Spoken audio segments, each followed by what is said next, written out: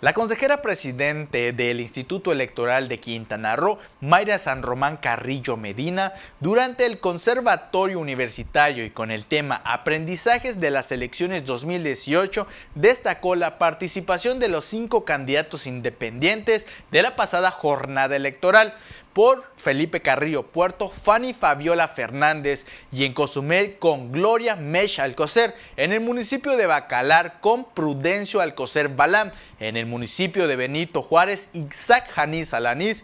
Y en Otompe Blanco con Julio Alfonso Mauricio Velázquez Villegas.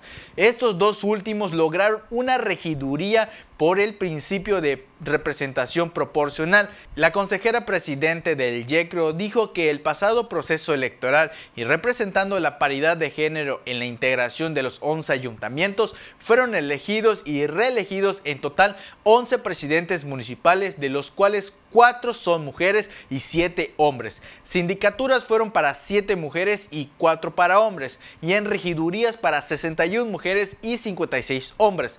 Explicó que en tres ayuntamientos hubo reelección, en Isla Mujeres con Juan Carrillo Soberanis, en Bacalar con Manuel Alexander Cetina y en Puerto Morelos con Laura Fernández Piña.